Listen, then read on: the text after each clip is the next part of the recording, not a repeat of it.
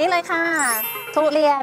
ที่เก็บมาที่เกียจทำหาเรื่องให้คนอื่นทำกับข้าวให้ เดี๋ยวนี้มาทำที่บ้านของเพื่อนปินโอนะคะ เรามาดูกันดีกว่านะคะว่า material หรือว่าผลไม้ที่จะเอามาทำอาหารวันนี้ จะเอามาทำอะไรได้บ้าง ตามมาเลยค่ะทุกคน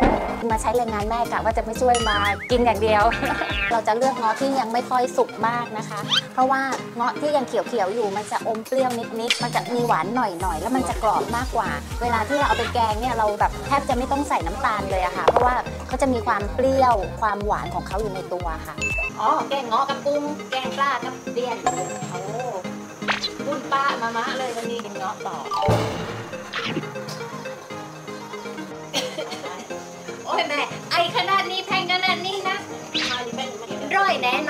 แน่นอน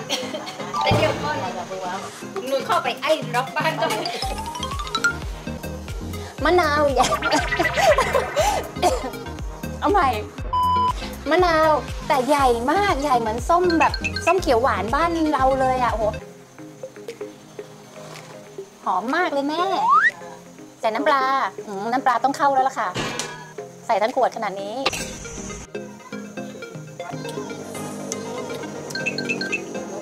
ดยอดเลยอะ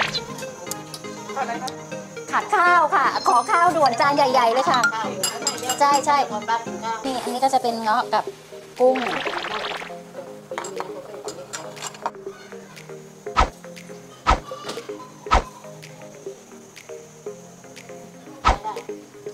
ล้างน้อยๆนะ ได้ไปหม้อนึงแล้ว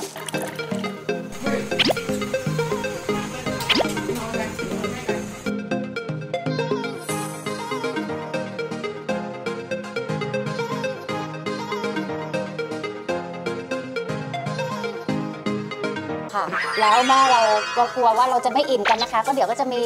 ใบเหลียงผัดไข่แล้วก็ไข่เจียวมาฝากเราด้วยกันนะคะ เดี๋ยวยังไงรอแป๊บนึงนะคะรอไข่เจียวแล้วเรามาชิมกันเลยดีกว่าว่าจะอร่อยมากน้อยแค่ไหน ใครที่ยังไม่เคยลองเงาะนะคะ แกงได้ ทุเรียนดิบแกงได้เหมือนกัน อร่อยแน่นอน ไม่แล้วไม่นิดหน่อยนิดหน่อย โอเคโอ้แต่ฟูมากเลยอะไข่เจียวฟูพร้อมแล้ว เลยนะก็เรียบร้อยแล้วนะคะ อาหารเต็มโต๊ะหมดเลย ต้องขอบคุณแม่มะนะ นี่คือว่าแบบยังไม่ทันชิมต้องขอบคุณก้อนไม่รู้ไม่รู้เป็นออกร้อยนี่นี่มีทั้งหมดแกงเรียน แกงง้อพักเลี่ยงไข่เจียวเป็นไข่เจียวมันนันนิดนึงนะอ๋อมันกรอบไปหน่อยค่ะ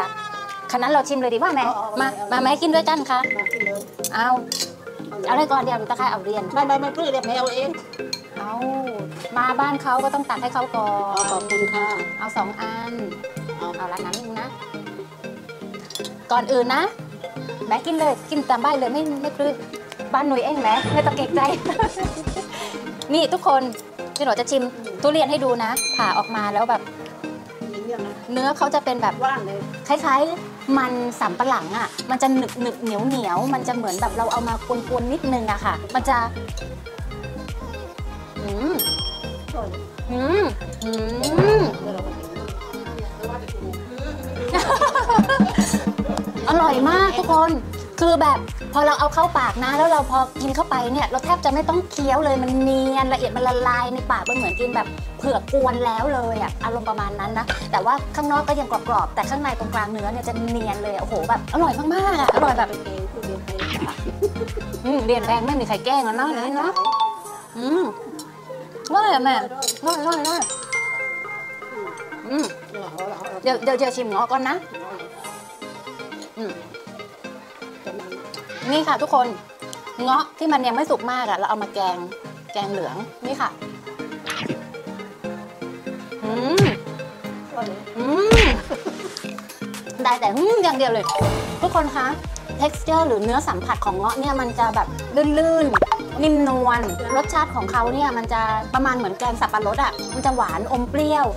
มันลื่นไปหมดเลยอะโอ้ยอร่อยมากค่ะ จริงๆที่บ้านคือหนูก็เคยแกงนะแต่ไม่ได้กินมานานมากแล้ว เคยกินตั้งแต่เคยกินไม่เคยแกล้งเลยเคยกินตอนเด็กๆแม่เนี่ยแกงเรียนนี่แกงประจำเพราะว่าสมัยก่อนนั่นคือค่ายไม่มดเลือกเก็บแค่ว่าเขาไม่คางคางๆแค่เขาเก็บไปไม่มดอะหรือล่างๆเขาไม่มาเอาก็เลือกก็แกงไม่แกงก็กวนไม่ไม่แต่เราไม่แกล้งมันทุกไปนู่นเออเราไม่แต่เราเก็บมันมันมันไม่สุกเลยแม่เวลาเราตัดอะอ่าอ ฝากทุกคนติดตามแม่หนูมีเพจแล้วนะ Queen O Queen of Fruit ฝากฝากกดไลค์ที่กดกดไลค์กดแชร์กดติดตามเอาเร็วเลยกดไลค์กดแชร์โอเคกดกระดิ่งให้ Queen O ด้วยนะอ่าหัวเราะโอเคโอเคแม่ขอบคุณอีกทีนึงนะกับข้าวอร่อยมาเดี๋ยวเราชิมกันต่อค่ะเอาเล ยยังไงฝากทุกคนติดตามด้วยนะคะ แล้วคุณโอจะกลับมาเจอกันคลิปใหม่ แต่ว่าคลิปใหม่จะเป็นอะไร คลิปใหม่จะเป็นอะไรก็ติดตามชมกันอีกทีค่ะ คลิปนี้ขอตัวไปทานกับข้าวที่แสนอร่อยกันหน้ากันก่อนนะคะเงาะอร่อย หอยใหญ่แล้วไม่กินกุ้งที่ไหนอ๋อเอาก็นี่กินแต่เงาะแต่เรียนพอนี่